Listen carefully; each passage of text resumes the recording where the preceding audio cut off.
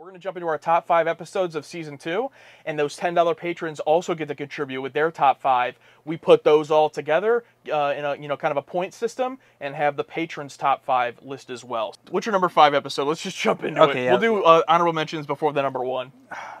Jesus. Okay. Um, sorry, let me pull my list here. My top five of Star Trek Season 2, The Next Generation, is Elementary Dear Data. All right, What's your number five? my number five is peak performance. okay, that's that's a good top five. I love peak performance. It should have been the season finale, in my opinion. yeah, you're probably right. Yeah. And the number five for the patrons, Elementary Dear Data. Let's go! I knew I liked you guys. They agreed with you on that one. Hell yeah. Uh, what's your number four? My number four is Q Who. Okay, okay. Yeah, I yeah. T- to be honest, like I wonder if they'll be surprised it's that low. one thing is these lists in my brain are never set in stone. They can always change.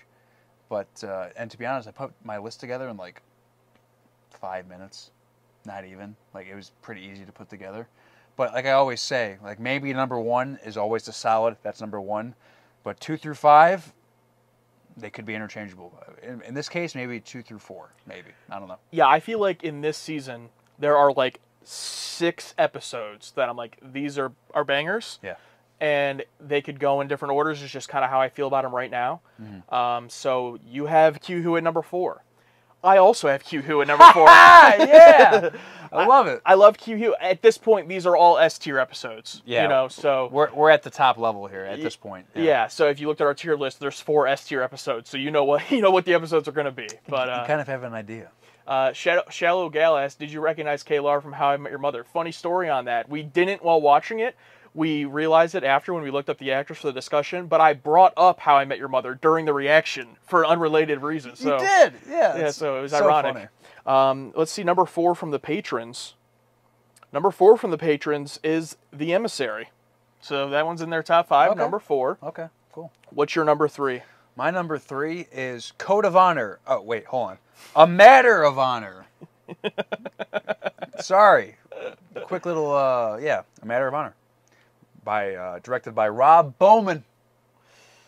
Yeah, that one's great for sure. Uh, number three might be a shocker, guys, for me. The Measure of a Man is my number three. Okay. I'm sure that's a bunch of people's favorite. I wouldn't be shocked if it's your favorite, and we find out in a little bit, but uh, we'll find out. We'll find out, but for me, I like two episodes just a little bit more. But Measure of a Man is number three for me. Excellent episode. Um, and then we're going to go to the patrons who had number three. Oh, look at that. Of course, they agree with Alex again. A matter of honor. Let's go, boys. Let's hold on. Let's ready. Let's go, boy. All All right. What's your number two? My number two, no surprise at all, is The Emissary. And I just got a shout out to K'Ehleyr, my favorite guest appearance, possibly ever. Um, probably tied close with Harry Mudd, but Harry Mudd has a bit of an advantage because we've seen him three times in three episodes. K'Ehleyr came in with one and knocked it out of the park. Uh, it's tough, but yeah, The Emissary. Cliff Bole, director Cliff Bole. Cliff Bole, always with the bangers.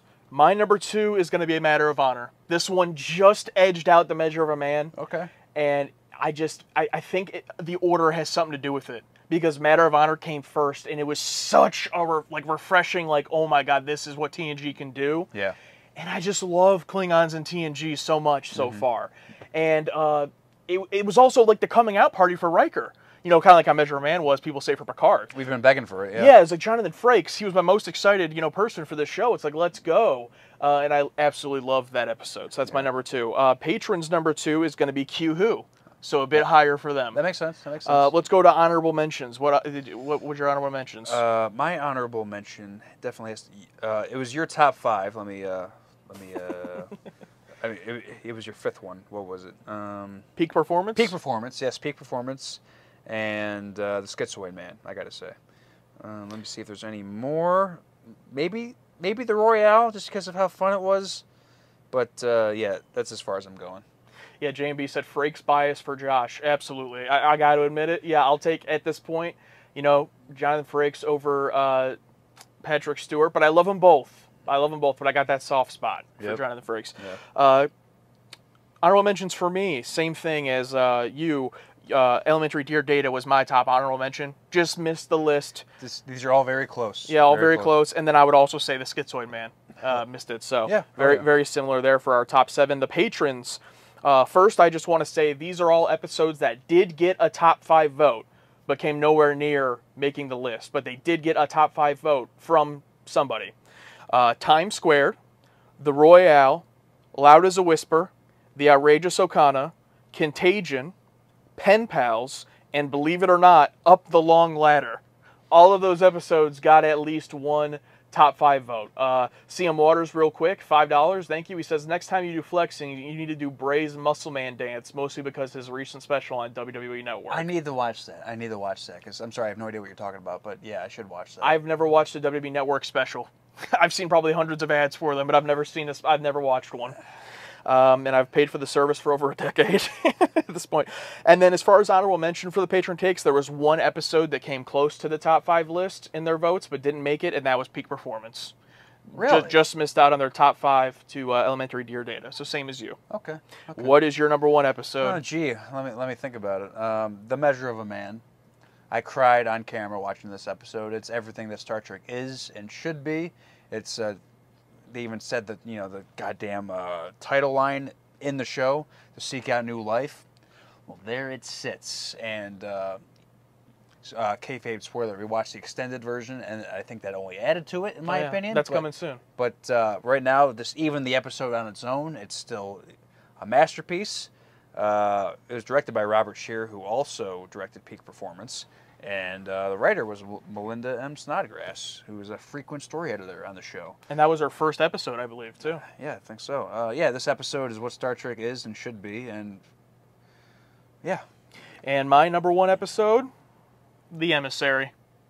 It, you know, we're, we, we were uh, right there. this was like the my side uh uh This side of paradise. this side of paradise thank you from tos for me this side of paradise spock for the first time in my life i was happy the emissary uh Worf on the I won't be complete without you. Oh, no, no wonder it was your number one then. Yeah, it makes so I mean, much sense. just, uh, it's my favorite episode of Star Trek TNG so so far so far. I don't So, blame you, dude. I don't blame you. Our our top twos were interchangeable. Like these are all like super close. Like like I said, the the S tier, uh, S tier, A tier, like a solid six that we can choose from, Yeah. and they were all like very interchangeable. And for the patrons, uh, yet again, they agree with you. The measure of a man. Q Who was Q Who was coming close, and there there were a lot of number one for Q Who- Q Who in their rankings, but uh, Measure of Man just beat it out by a couple votes. That makes sense. Makes So sense. thank you to all the patrons who participated in that. Um, and there, there we go, guys. So W or L for our top five lists. Let us know.